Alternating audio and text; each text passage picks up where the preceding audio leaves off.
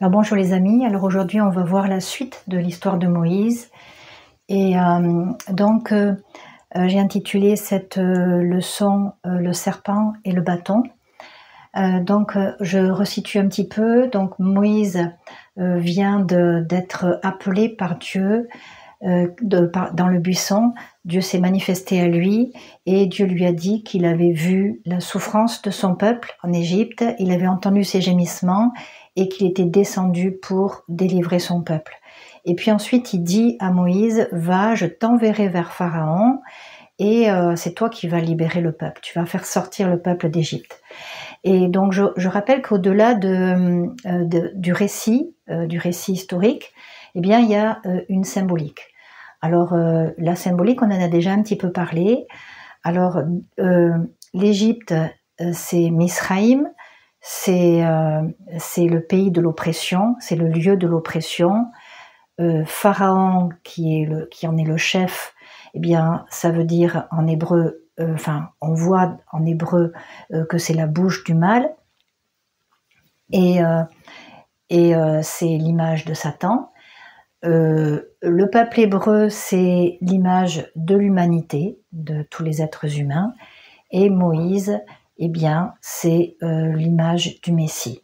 Alors, ce ne sera pas bien sûr dans tous les petits détails. Hein. c'est dans, dans, c'est d'une manière, il faut voir ça d'une manière quand même globale. Voilà.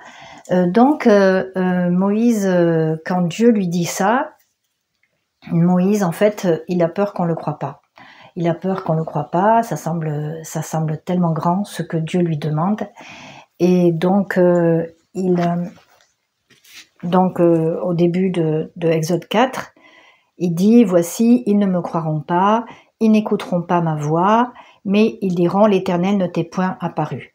Alors Dieu, en fait, eh bien, il va lui donner des signes, parce que avec des signes, eh bien, ça va amener à, ça va amener à la foi, ça va amener à croire. Et l'Éternel lui dit, qu'y a-t-il dans ta main? Alors Moïse, qu'y a-t-il dans ta main? Eh bien, dans sa main, il y a un bâton, il y a une verge. Et Dieu, Dieu lui dit, jette-la par terre.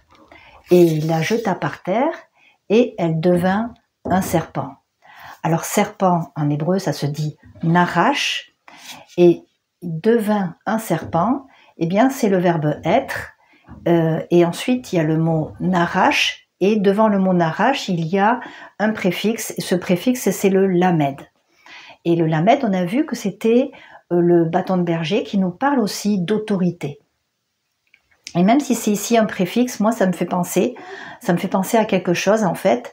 Euh, ça me ça me ramène dans le jardin d'Éden. Euh, dans le jardin d'Éden, Dieu avait un grand projet pour l'homme et pour l'humanité, et c'est comme si il avait délégué à l'homme une autorité. Alors on va imaginer que cette autorité, bien sûr, est représentée par un bâton que Adam n'avait pas dans sa main, évidemment. Et puis, euh, en, obéissant au serpent, en obéissant au serpent, euh, dans Genèse au chapitre 3, eh bien, c'est comme si euh, Adam a perdu son autorité, et puisqu'il a obéi au serpent, eh bien, c'est le serpent qui a récupéré l'autorité. Et ici, dans ce que Dieu euh, dit à Moïse de faire, eh bien, euh, on voit le serpent avec une autorité.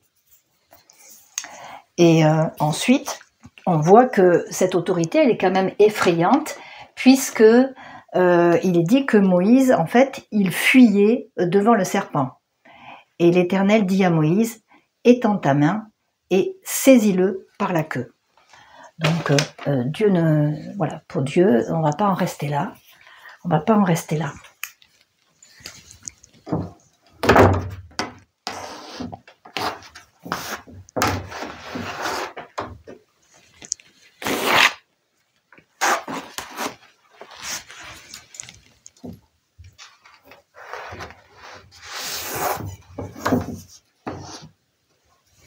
Il étendit sa main et le saisit le serpent redevint une verge dans sa main.